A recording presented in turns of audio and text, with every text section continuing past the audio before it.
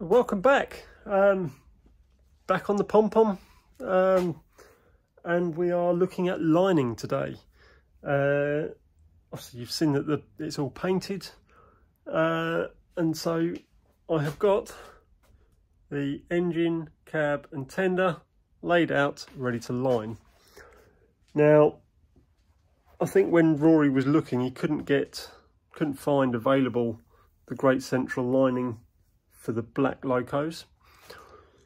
Uh, so what we've got, he contacted Tom at Endon Valley Custom Decals and he's created from photos uh, all the uh, transfers that we need for the engine and tender.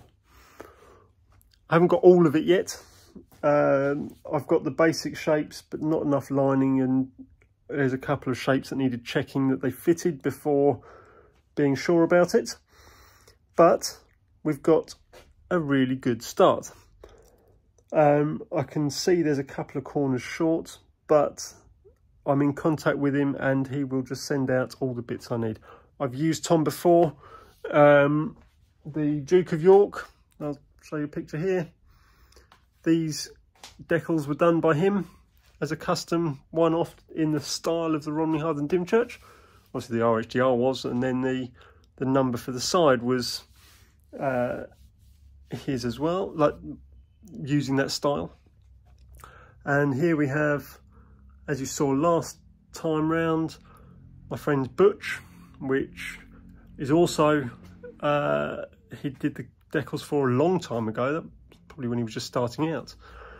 Um, and most recently I used him, or another friend used him when I was painting his engine, for this Terrier, uh, done up as Fenchurch, which was an interesting job to get into. Um, and more recently, I believe he's been doing stuff on full size stuff and narrow gauge and all sorts. He's a little few shots of what he's been doing. So if you need him, let me know and I can pass on a contact detail or um, find them on Facebook, Endon Valley Custom Decals. Got to be careful, there are two pages. One of them, uh, when you look, hasn't been used quite as recently. Um, nothing's been posted on it quite as recently. He had a... Uh, he, he was hacked, so he had to close that, or start a new account, and he couldn't even get on to close this one. So, that's enough of that. Let's crack on with what we're doing.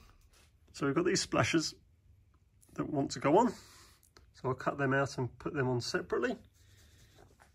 Um, and the cab sides. Now, I think there's one corner missing because you've got this, which is the line around there. I need to make sure it looks okay and fits because I it looks like it might want to come this way a bit further. But we'll see. Say he wasn't necessarily sure they're going to be quite right yet. He might need some tweaking, but we're he's more than happy to do all that tweaking for us. The bottom corner here, the top corner there, but I'll have to use that corner again down here for the fourth corner. Um, so that's that's there, and we've got lining to go in between. And over here, obviously, we've got the Great Central with the crest. Uh, these four go up under here and up there with the lining in between. And then there, the, the main body around there. So, let's see how we get on. So I've cut these to shape. I've cut close to the line outside and in because of the way they're printed on a on a full sheet of transfer paper if you don't cut the inside out then you've got transfer like clear transfer all the way across which I didn't really want. So and I've got a pot of warm water. So we will drop that in there. Leave it for a little while.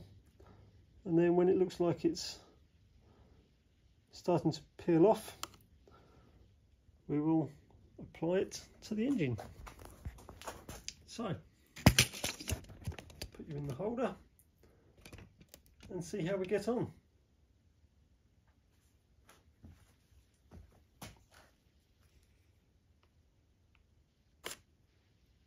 Oh, that's gone wrong already because it came off the backing paper in the water.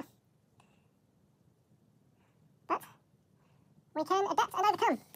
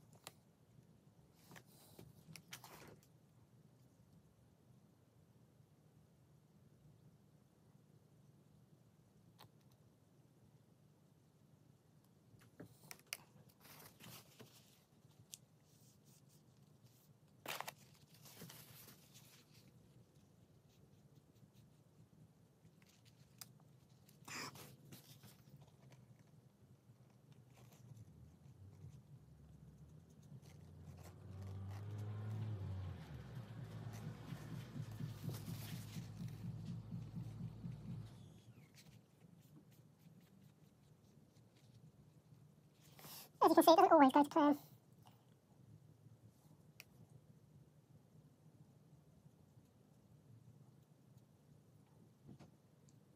Maybe I should have left a little bit more shown.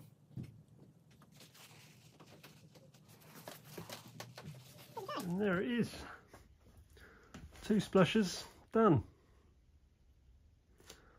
Just on move on to the cab next and see what I'm missing to finish the other side and do the tender.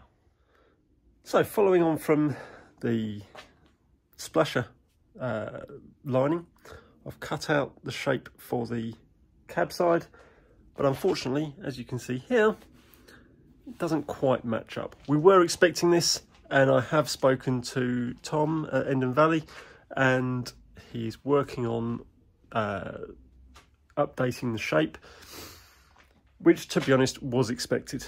I might have said that already, I can't remember.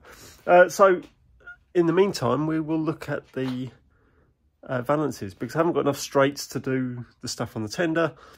Um, so yeah, I'll, I'll start taking a look at the the valances, which I think we're going to do with paint. And I've got a couple of options.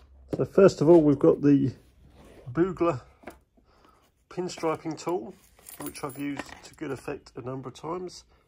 Fill it with paint, and then the roller um, deposits the paint as you roll it along the engine. Or I've got some signwriting brushes and some signwriting paint, which I am keen to give a go with at some point. Uh, at the end of the day, with either, if it goes wrong, some white spirit on a rag and it's gone. So here is the sort of sample from, from a book which I'm working to. Uh, and yes, I will see what we can achieve.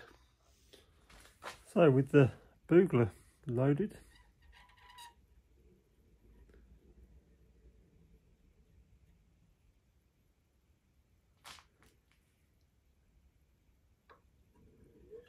Oh,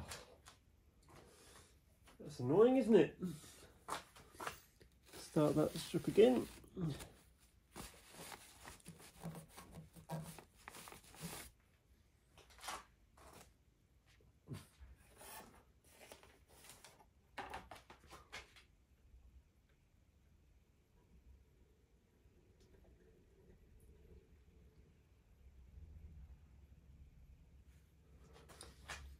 So then I just need to get around the steps. It's whether I try and do that with this or or with the brush. Um,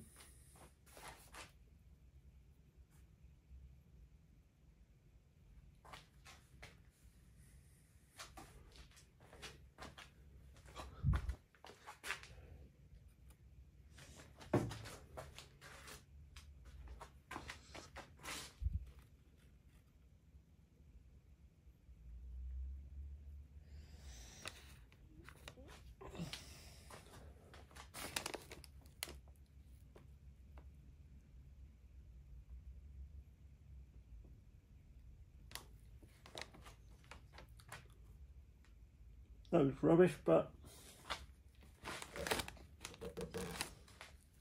we can keep trying.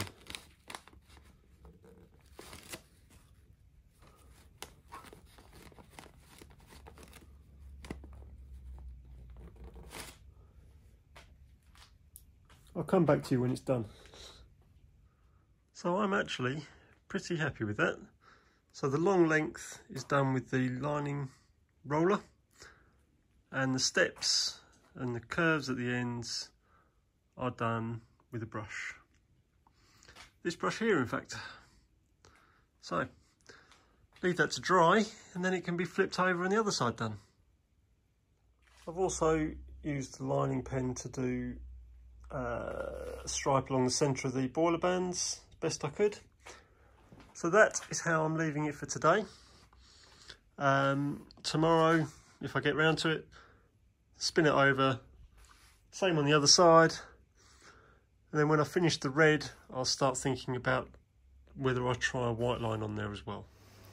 So I have done both sides now, both looking about the same, hopefully. The next job is to get the very fine white line alongside that. So what I've done, I've set up my lining tool with a much finer wheel ready to do the same alongside the red. Now I'm not going to video this one because I can see that this one's probably going to take a little while. There might be several attempts at each line uh, and you don't want to just sit and watch me get it wrong but I will show you when it's done. Um, and incidentally I've been asked a lot of questions about what I use to spray the engine so I'll have a look at that in a minute as well. Good news, I didn't get quite as fed up and pissed off with myself as I did yesterday. Um, I'll take a look at that.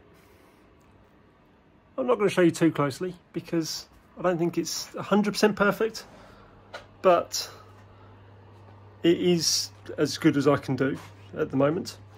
I'd need a lot more practice to get better than that. But if you work on the six foot rule, I think that's pretty convincing. Um, okay, I've just noticed one or two little bubbles that, or wobbles that could have been better. Might take a look, look at tidying them up. But on the whole, I am pretty happy. So, onto the spray gun, which I promised I would say something about. This is the one I'm using. Now, uh, probably the first engine I ever painted, the first couple, and Dad used to paint with uh, a Badger airbrush.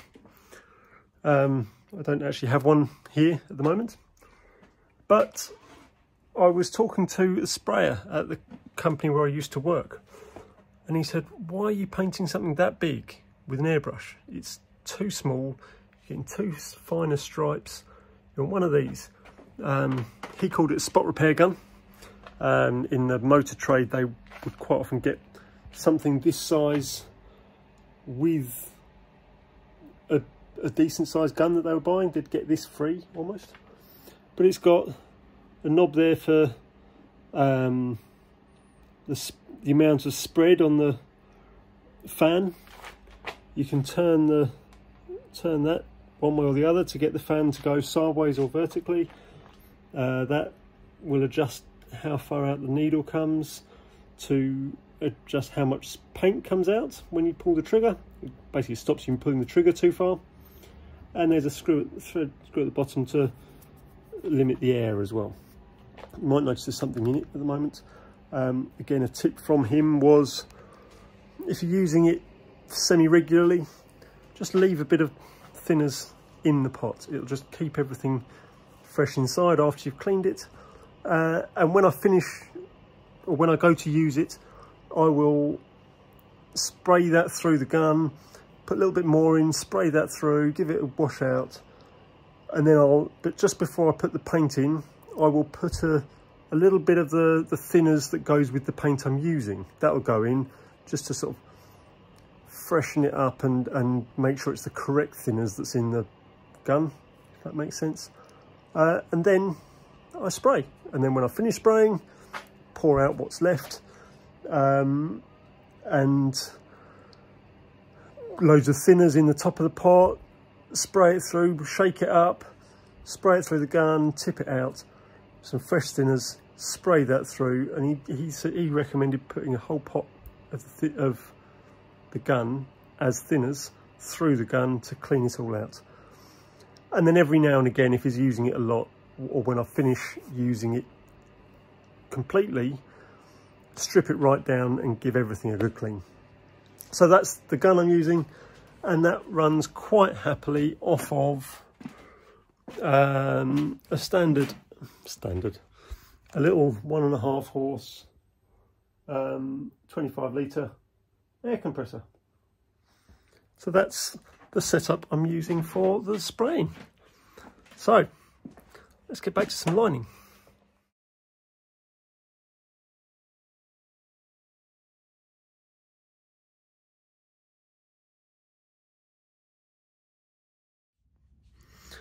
And so just to finish that off, I have on the splashes uh, brush painted some varnish um, because I didn't really want to get the uh, the gun out and spray it all just for the sake of those two splashes each side. Um, I did put a little bit on the valances because there was a couple of spots where I hadn't quite got the top coat on properly and like under the steps, but putting the, the varnish on has given that a gloss finish so it all looks good. Um, but my reason for that is that's all the lining done to the chassis.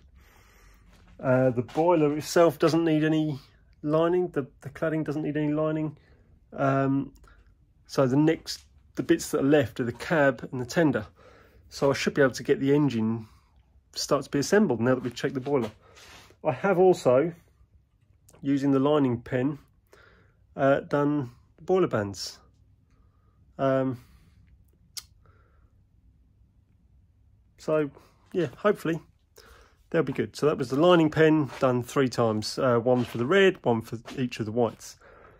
Left it to dry in between each each one. Um, it's come out not too bad. There's a couple of bits I might want to touch up with the brush, but overall it looks pretty good. So next time round we'll be starting to put it back together. Um, so thanks for watching and I will see you next time. Goodbye.